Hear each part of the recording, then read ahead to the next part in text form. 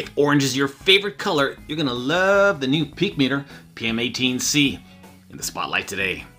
This is a TrueRMS 6000 count multimeter and wow, I gotta say, it just looks so darn nice. It has that kind of, oh, Keysight slash Agilent uh, orange to it, which I really like. It's uh, a little on the subdued side, but no, it really looks good. All right, so it ships in this pretty decent looking box, nice and colorful, definitely got some zing to it. And hey, I know what you're asking, what do you get in the box? Good question. Well, here's your answer a whole lot of stuff. Starting off with the user manual. Now, they actually give two user manuals. One is in Chinese and the other is in English. They're the exact same manual, um, but yeah. Put the Chinese one aside and let's take a quick gander, shall we? Nice looking, good size font, nice typeset, definitely something usable. What else do we get in there? Of course, we get our peak meter test leads. And let's see. Oh yeah, they're a pretty good size. Definitely on the bigger size. Um, that I like. I like it a lot. 20 amps max. Mm, take that with a grain of salt. I already finally got that shroud off, and yeah, that's really sharp, very pointy. Um, you don't want to stick that too close to your eyes. Um, okay, we're going to see how good they are. First impressions, not too shabby. Anything else? Yes, one more thing, of course. We get our temperature probe because the peak meter does do temperature. Oorah! Let's check it out. Got a messy. What a messy person I am today. I beg your pardon. I never promised you an orange multimeter garden. Okay, I will stop. No singing on this channel, dang it, already. So the meter itself as you can see, is a non-auto ranging manual meter. And yeah, I've been doing a lot of manual meters lately. Not sure why. It's not like I'm doing this consciously. There's just a lot of good looking manual meters coming on the market. Oorah. Gotta say, this is a bit of a beast. It is heavy as heck. Yeah, it is not light. You don't want to stick this in your back pocket. Um, yeah, uh, really heavy. And it takes four uh, 1.5 AA cells, so that's probably got a lot to do with the weight. Um, yeah, nice holster again, good quality. Um, if you drop this, I really don't have any worries about uh, it not being operational. It's definitely well protected in that. Take a look at that tilt stand. That is a tilt stand, folks. Yeah. None of this limpy, skimpy looking stuff. No, nice and wide, solid. Um, comes out without taking off a finger. Deployment is super easy, and once it's up, it is up for the count. Oh, oh yeah, so much for that idea. But generally speaking, wow, loving it. That is one heck of a tilt stand. Rotary selector switch starts off at the 12 o'clock off position. Live mode. Volts DC from 600 millivolts to 1000 volts. Volts AC to 750 volts. AC high current up to 20 amps. DC current up to 20 amps. HFE or transistor mode. Frequency up to 10 megahertz. Capacitance up to 100,000 microfarad. Continuity and diode defaulting to continuity. Resistance up to 60 megaohm. Finally, NCV or non-contact voltage. At the top of the meter, on the left we have our select switch and on the right, we have our hold. This is just a standard one-touch hold, as well as a backlight. In the middle, we have our HFE or gain. This is where you put your transistor, NPN or PNP. At the bottom, we have four separate inputs, starting with the common on the right. Top of that, we have our capacitance, diode, continuity, temperature, live wire, voltage, resistance, frequency, and duty cycle. Bottom left, we have separate input for microamps and milliamps. And finally, at the top, high current, up to 20 amps. So it's a good looking meter. Um, as I mentioned before, it has a really nice, sleek, svelte look. I like it. It looks like it means business. Turn it on for the first time, shall we? Bada boom, bada bing, bada bang. Greeted with our standard liquid crystal display technology. And it's here in a live mode right now. I will switch it to volts DC and you can see, wow, we got some pretty big numbers going on here. Nice big font. Yeah, I am liking it. Now let's check out that backlight. And we hold it down for a couple of seconds and voila, the backlight will stay on for only 15 to 20 seconds. Why oh why can't these manufacturers make it stay on indefinitely? I don't know why it's such a big deal. I really don't. Ah, lights out in Georgia. So yeah, 15, 20 seconds is all you got. Really nice looking display though. And as you can see, it doesn't matter what the angle is. It is quite verbose, quite clear. Not hard on the eyes at all. Also ships with a standard auto power off. 15 minutes, you're gonna get one beep. After that, you've got 60 seconds to either wake up or the meter shall turn itself off. Oh, yeah. Oh. Starting things off with our DC accuracy test. Here we go. Looking at 2.5 volts, and we are getting Oh yeah, spot on 2.5. Next we want to see 5 volts. Oh gosh, nice. 5.001. Next we want to see 7.5 volts. Spot on 7.50. Finally, we're going to look at 10 volts even. We hope. Survey says spot on. Wow. So in the accuracy department, peak meter PM18C is a winner. Resistance is next. I got a 22 mega ohm resistor in front of me. And wow, nice and fast. 5 ohm resistor. 0.8, 0.7. Pretty close. Let me just see if we have any resistance on these leads.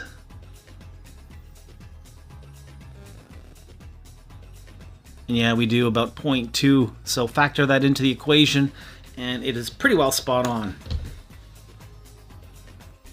All right, we're sitting at 6 megohm right now. Let's see how fast it is to range. 5 megohm, 4, 3. Yeah, nice and fast. No worries here. Looking at household mains now, 120 volts AC, looking good. Unfortunately, if we want to look at that uh, frequency or duty cycle, we're going to have to unplug it and switch that rotary selector switch all the way to the frequency setting. Ah, why couldn't it just be a push button away? Really, really cumbersome. All right, so we're showing 60 hertz. Yeah, I moved that selector switch all the way. Had to unplug the leads first. What a pain. Hit that selector switch again, and there is our 50% duty cycle. Looking good. Just awkward. Too many steps. Capacitance is next. 100 millifarad is what they've got marked on that hot little dial. Let's see it. Let's go for the gusto. Three, two, one. 100 millifarad. Fingers crossed. I don't think it's going to be a problem. Haven't tried it yet. Your guess is as good as mine. We're getting that visual indicator, and oh my god, we have an OL. Sometimes there's a little hookup going on. Hmm. Does not like this 100 millifarad cap. Now this cap does have a tendency to go a little bit over that 100 millifarad range, but usually not. Oh, that's too bad. Boo-hoo-hoo! Didn't pass the 100 millifarad taste. I'm upset. All right, well, we're to try a 47 millifarad. Here we go. It is thinking.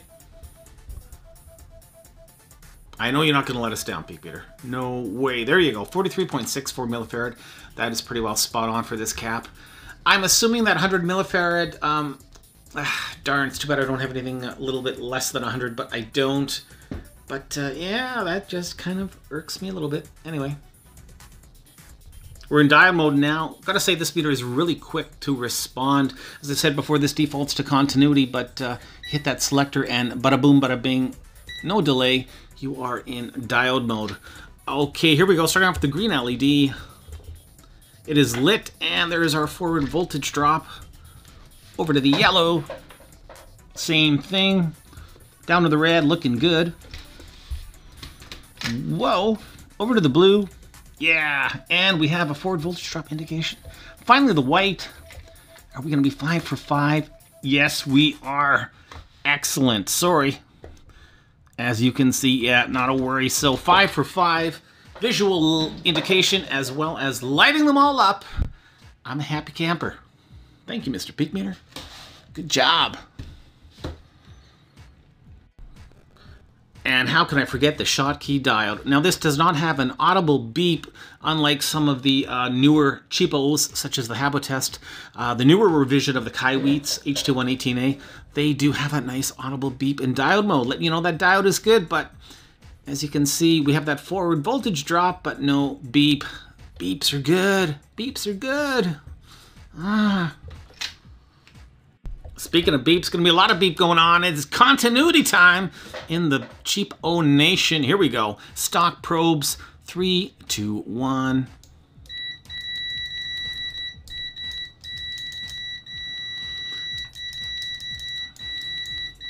Latched and loud. It just, you know, a, a, fraction of a delay there. And what I don't like is the uh, peak meter does have these nice LEDs at the top and they will come alive in continuity mode, but you gotta really hold down for a while. Too bad it wasn't quicker. Ah, let's try the Probe Masters. Probe Masters, here we go. Bada boom, bada bing.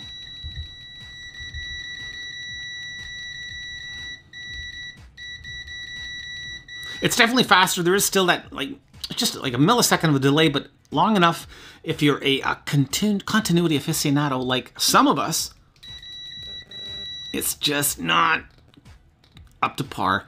It's still really good, don't get me wrong on that one. Better than a lot of them, but yeah. And the Probe Masters really don't make much of a difference. And too bad about that light. Ugh.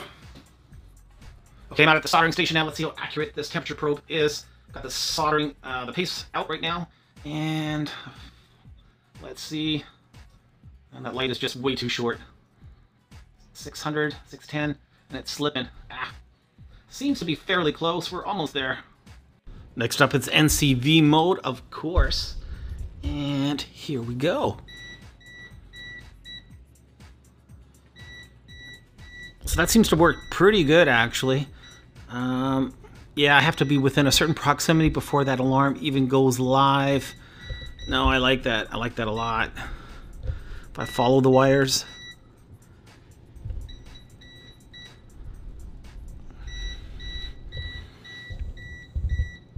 Yeah, so generally speaking, NCV seems to work nice.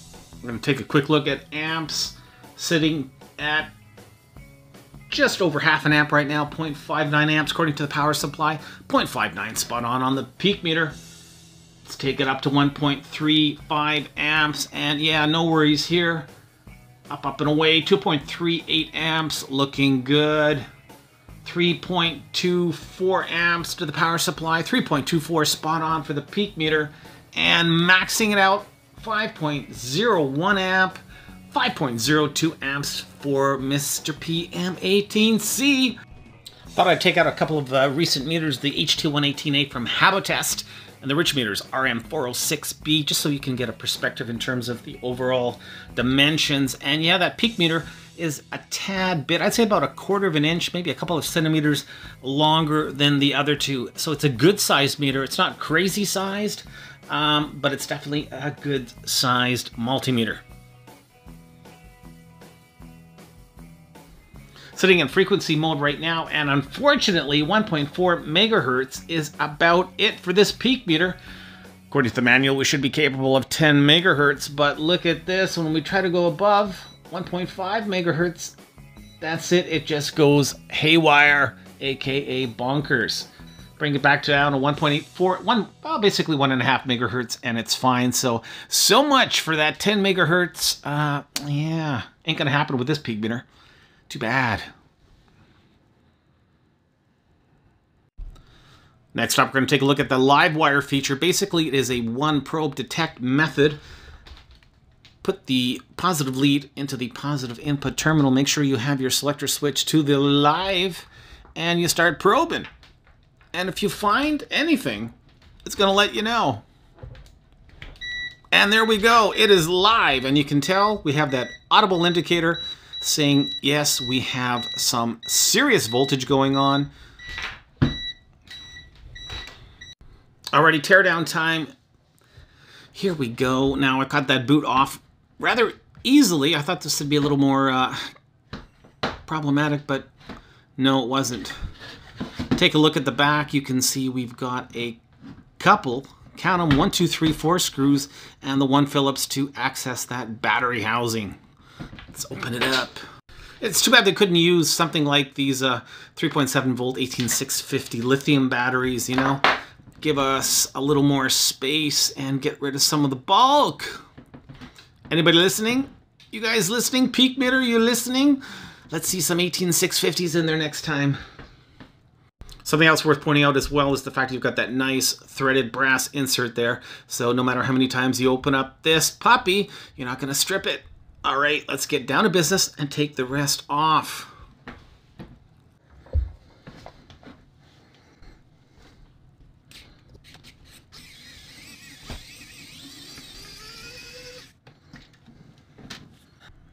All right, here we go. Time to open up the beast. And yeah, already let's take a closer look. Well, you don't have to be a rocket scientist to notice that there is no shielding. Yes, they've dropped the ball once again.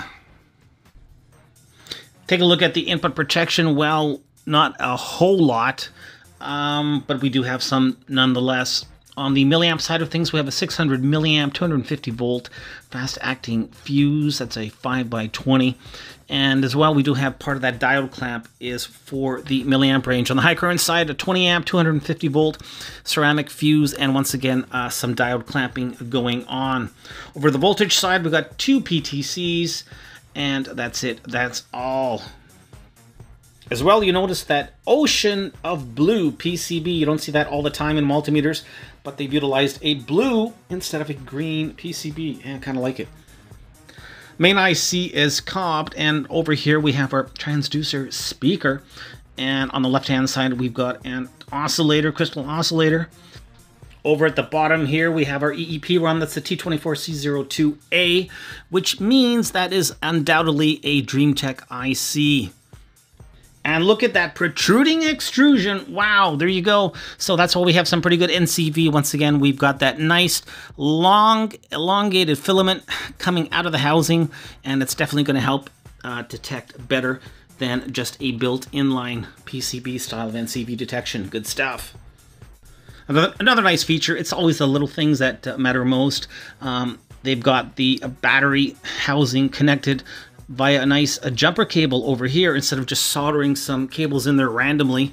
So that is a little bit of attention to detail as well. We've got some nice glue here on the flashlight, uh, keeping everything solid and in place. Overall, pretty clean PCB. Um, no flux residue, what have you. Looks nice and clean from my perspective. Okay, gonna put it all back together. Come back with my closing thoughts. Hey, this is a pretty darn good looking multimeter and it performs just as nicely. Yeah, the PM18C has a lot going for it. It's faster range and it is overall a really nice meter to work with. True RMS, 6,000 counts, and a nice big bold display. What don't I like about it? Well, that backlight really is aggravating and too bad that frequency didn't at least get a little bit better than one and a half megahertz. Also, the continuity left something to be desired. Definitely could have been an improvement. All things said, though, at the end of the day, for around 30 bucks, 35 bucks or so Canadian, 30 US, you're getting a lot of bang for your proverbial buck. The Peakmeter PM18C gets a solid 3.5 out of 5 stars. Hey, I know it's a manual ranging meter, but don't let it sway you. These things can be great to work with and it's a great way to learn about your multimeter at the same time. Thanks for watching this review, everybody. Till the next one, keep on testing.